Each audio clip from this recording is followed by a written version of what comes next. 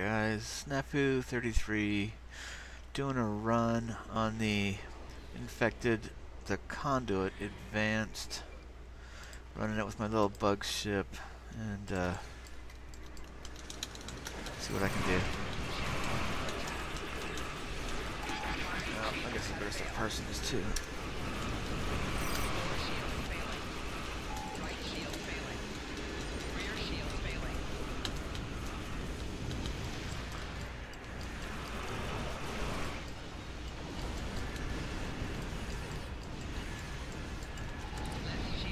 What the heck?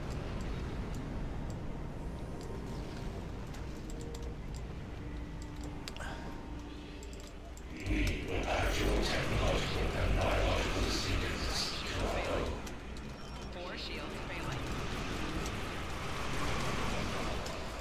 Rear shields failing. Hull integrity below 75%. Shields failing.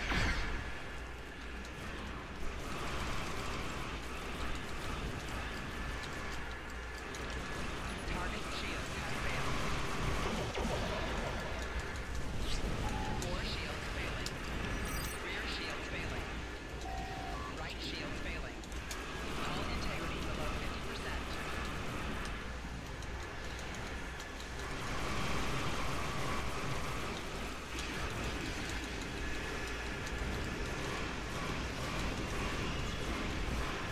Hull integrity below 50%.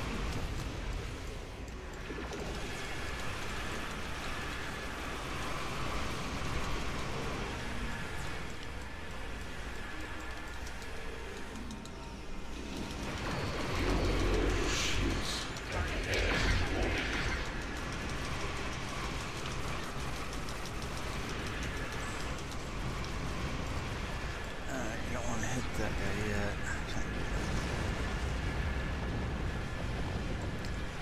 Over to the other side. Come on.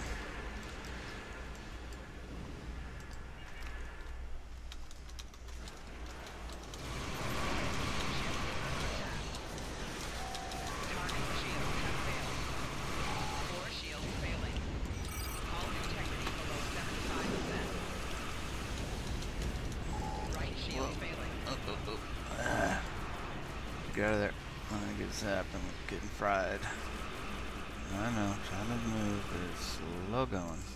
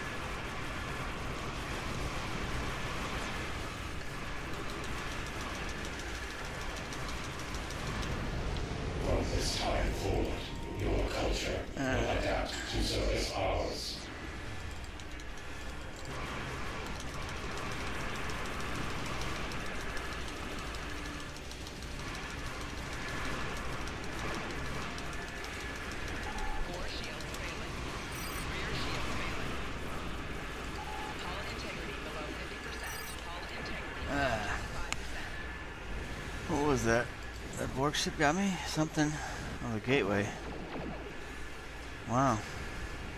Yeah. Gateway did some pretty heavy plasma damage to me. Alright, well, sorry guys.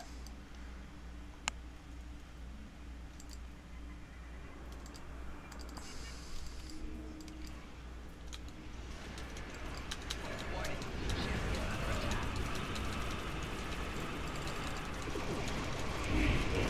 attack.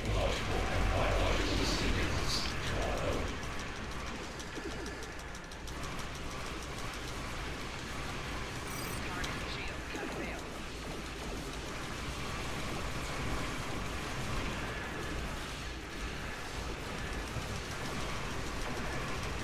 Core shield failing. Right shield failing. Rear shield failing. Left shield failing. Hull integrity below 75%. Hull integrity below 50%. Ah, it's gonna kill me again. Dice. Damn it. Well.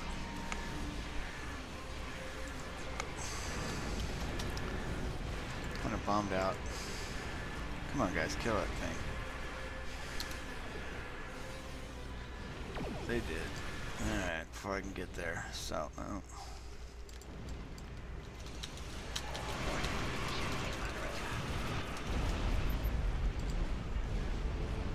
Sorry, guys. Got bombed a couple of times. Third time. Alright, so my bug ship still uh, can get uh, get stomped pretty easy in the. That's alright. So, anyways. Infected the conduit advanced. Gonna go see what the damage is on that one.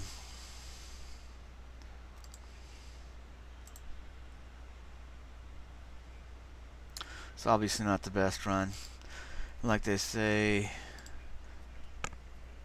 one of the most important parts of the getting good DPS is knowing how to use your equipment and knowing how to fly your ship. So, uh, yeah.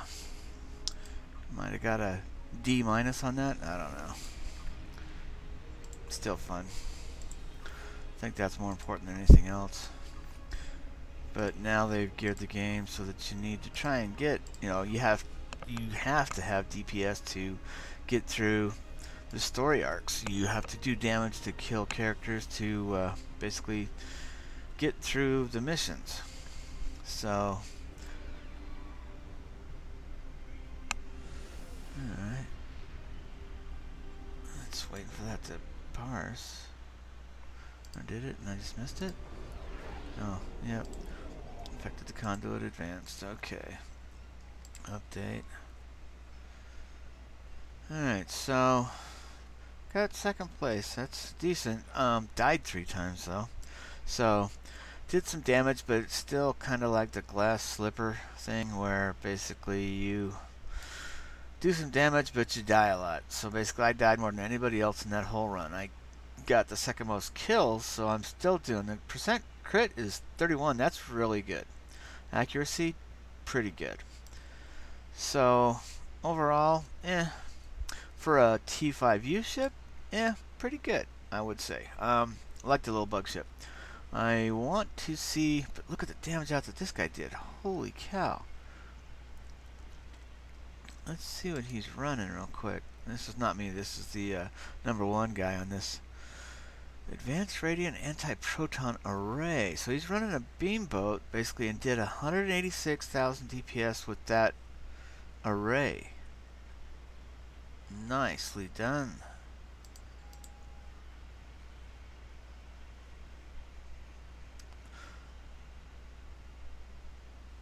Interesting.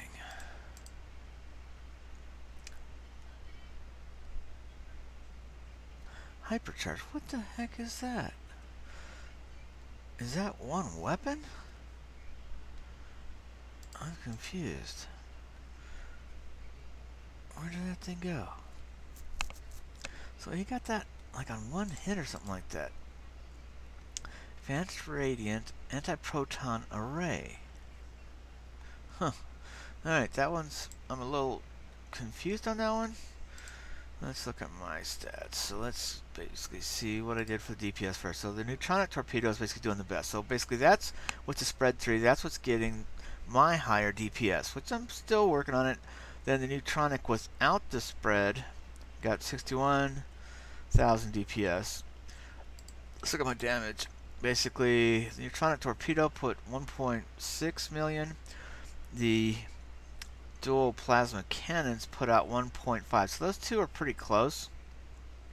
Then the corrosive plasma turret, kinetic cutting beam, did pretty good. So actually, see these four are, are big chunks of the puzzle. Not of the DPS, but basically the total damage done. So that was okay. So total DPS, yeah, split up a bit. So anyways, interesting run. So that's the uh, link if you want to, anybody wants to see it. Let me go back to STO. Oops. Gotta click the right button. So anyways, do a show of the stats like I normally do. So this is the same bug ship I've been running for a while. Um, I did do a run on the Crystal Cataclysm Advanced. I posted that earlier. So my latest setup is running the Elite Fleet Deflector, running the Nukara Impulse, running the Nukara Shield for the 5% energy weapon bonus, and then the Colony Warp Core. So Colony Deflector, Colony Warp Core, Nukara Impulse, Nukara Shield. So obviously I took some damage on that. Um, people were suggesting having scar damage so that when you come into the station or something like that, it shows that you were in battle. You go, people were saying, yeah, I did that, and I made it out. Anyway, so basically, um, still running the corrosive plasma dual heavy cannons up front, neutronic torpedo, the uh, couple of the corrosive plasma turrets in the back, and then the kinetic cutting beam. Got the experimental voice of the prophets, red matter, Delta Alliance reinforcements. Got the console, Trillium D, the Domino, the RCS accelerator, damage resistance, and the turn rate. The House Martok for quite a few of the settings. Um, science, I have the temporal suite, the console assimilated module, and that um, matches up with the cutting beam. So, what are the details on that? For what's the second set? Let me um, oh, that's the Omega Weapon Amplifier. Not really sure how that, um, what to interpret that as far as the DPS goes. Um, we need somebody else to chime in on that. And then I have four of the plasma locator for the plasma cannons, and then I have one locator for the torpedo. So anyways, that's about it. But uh, take a peek back at the parse. This is using the... Um, oh, stop that. Alright, stupid thing. Alright. Basically using the Nexus um, parse. It's just easier for me. So 36k run, not too bad. Um, I'll post this here in just a bit. So basically, the uh, infected the conduit advanced 36,000 for my T5U bug ship. Thanks for watching and have a great day.